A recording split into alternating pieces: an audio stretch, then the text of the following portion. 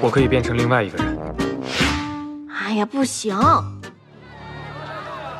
那个诸葛先生好像很厉害的样子，感觉有点怪，哪儿怪啊？不好说。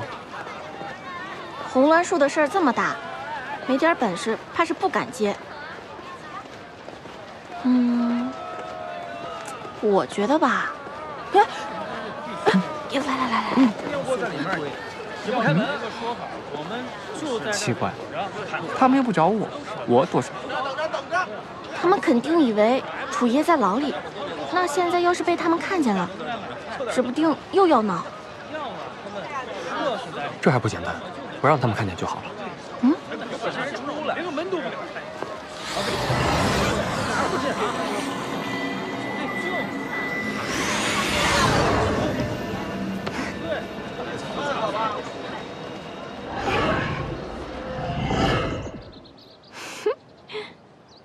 这些人怎么还不走？嗯，第一枚和红鸾台关系密切，就算楚叶被抓进大牢，他们也不会放心的，怕云川徇私再把他放出来。那也不能让楚叶一直待在牢里啊。嗯，这次郡公出面为他女儿不平，肯定会盯死了第一枚，我们也不能自找麻烦呢。你的鬼主意呢？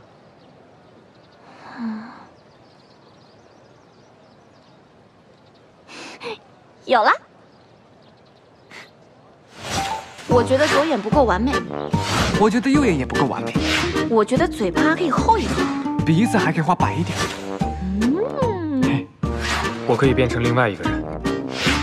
哎呀，不行，你变成另外一个人就不是你了，我看不惯，你这样挺好的。是啊，在凡间就不要乱用仙术，万一引起不必要的麻烦，那就糟了，那就糟了。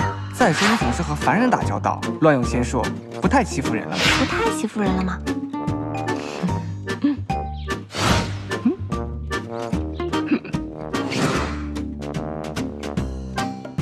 你们是故意的吧？没没有，我们都是为了第一枚嘛。为了第一枚嘛。继续吧。